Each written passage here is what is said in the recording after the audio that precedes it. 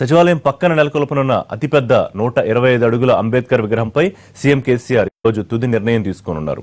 దీనిపై ఏర్పాటైన కమిటీ ప్రతిపాదనలను పరిశీలించి సీఎం నిర్ణయం ప్రకటించనున్నారు.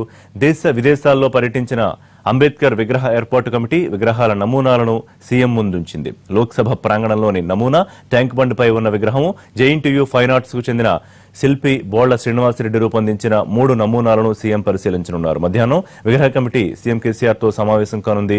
విగ్రహం ఎక్కడ పెట్టాలన్న స్థలాన్ని ఇప్పటికే ఖరారు చేశారు.